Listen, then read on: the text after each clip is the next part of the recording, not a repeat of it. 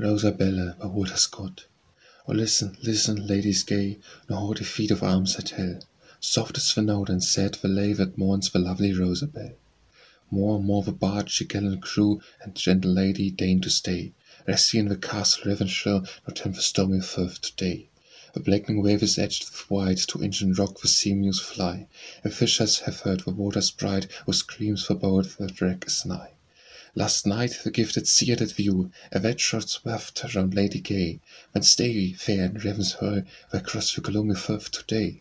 'Tis not because Lord Lindesay's hair tonight at Roslin leads the ball, And that my lady mother there sits lonely in her castle hall. 'Tis not because the ring will ride, and Lindsay at the ring rides well, And that my sire the wine will chide, if if 'tis not filled by Rosabelle. A Roslin all that dreary night, and wondrous blaze was seen to gleam, Was broader than the watch fire's light, and redder than the bright moonbeam.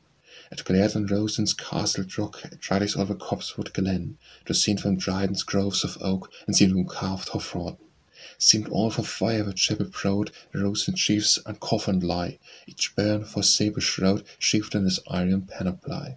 Seemed all on fire within, around deep sacristy and altars pale, Shone every pillar foliage bound, and glimmered all the dead man's mail.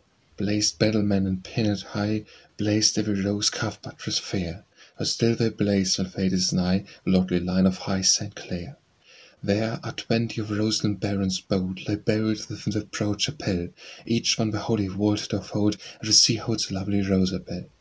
And each St. Clair was buried where with candle, with book, and with knell, And the sea caves rung, and the wild winds sung, the dirge of lovely Rosabelle.